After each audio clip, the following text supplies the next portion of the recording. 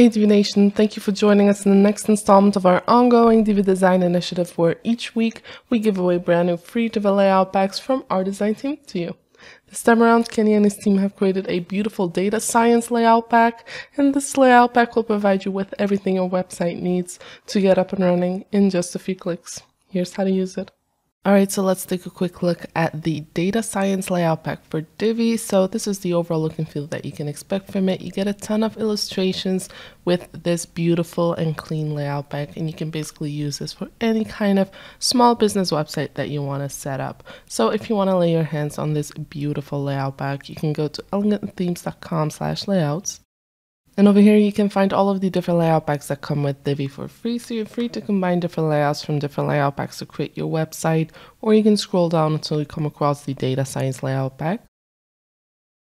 And if you click on it, you will be able to see all of the different layouts that come with this layout pack. So these are all available in Divi for free, and you can view the live demo by clicking on the blue button. Now this will redirect you to a live website where you can go ahead and discover each and every layout for yourself without actually having to install it on your website first. So say for instance you really enjoy the landing page and want to get started with it, you can go back to your WordPress website, go to your WordPress dashboard, go to pages, add new, give your page a title, publish the page, and enable the Divi Builder. Now when building a new page, you will get three options. You can start building from scratch, choose a pre-made layout or clone an existing page. We're going to browse through our pre-made layouts by clicking on the purple item. And over here we have all of our different layout packs again. So go ahead and scroll down until you come across the data science layout pack.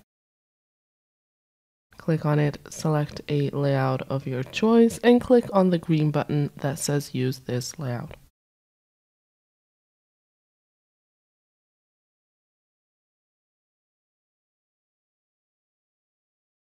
So as you can notice, this takes a little to no time for it to upload to your page and change all of the content. And from that point on, you can start modifying everything to make your page ready to go live. So of course you can modify written content that comes with certain modules, but you can also use Divi's built-in options and efficiency features to make changes to the page design.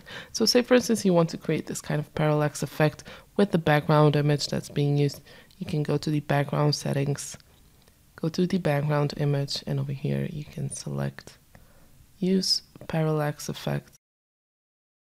Just like that, we have a parallax effect going on. You can change the method as well. And this creates a really neat effect.